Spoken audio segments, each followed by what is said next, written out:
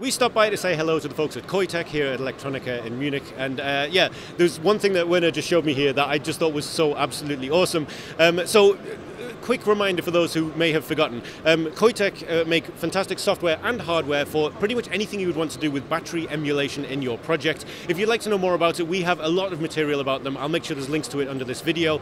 Um, but yes, this is for emulating solar. So, Werner, you said you just put this together and showed me how it works. So, what are we what are we looking at here?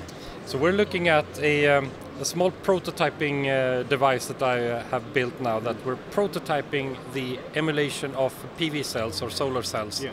Uh, small solar cells used for wearables, for instance. Um, what uh, we can do is that we'll choose a, um, a profile from the uh, PV cell manufacturer Mm-hmm. and then we can simply drag uh, our slider say how much illumination do we have Yeah. and it will emulate the output from the PV cells at that illumination Yeah. for small uh, solar cells.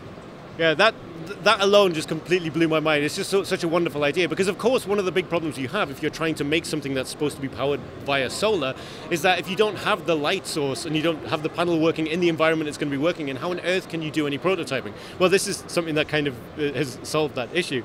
Um, so, I mean, from uh, in terms of the actual hardware itself here, obviously this is a custom connector that you put together. What um, what is the hardware connector actually doing here?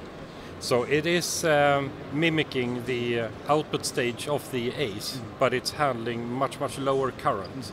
Uh, so this is something that we're looking uh, into if uh, it's enough interest uh, for PV cells that we will incorporate it into a final product.